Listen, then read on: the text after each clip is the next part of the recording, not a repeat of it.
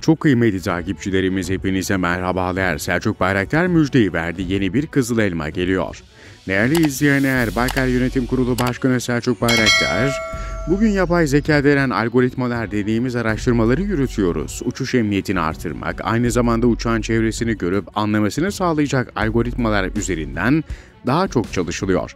Elbette insansız hava aracı platformlarımız için daha çok bu çalışmaları yürütüyoruz ama bir yandan da Cezeri dediğimiz uçan arabamızı hazırlıyoruz dedi.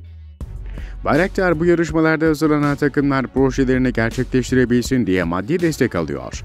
Aynı zamanda maddi ödüller de var. Tabii bunlar başarılarının yanında belki çok önemli bir yer tutmayabilir. Ama daha önemlisi bu takımların kurdukları bu takım ruhunu girişimlere taşıyarak o girişimlerle dünyaya damgasını vuracak işlere imza atmaları. Bu yarışma bir anlamda onun başlangıç adımı olmuş oluyor dedi.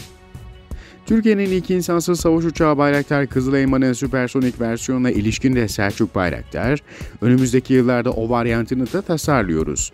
Geliştirme faaliyetleri devam ediyor ama Kızıl Elma A dediğimiz ilk varyantı, süpersonik olmayan varyantını şu anda üretime hazırlıyoruz diye konuştu. Haberimizin sonuna geldik. Sizlerden kanalımıza abone olmanızı, videolarımızı beğenmenizi ve nokta dahi olsa yorum bırakmanızı rica ediyoruz. Bir sonraki haberde buluşmak üzere, hoşçakalın.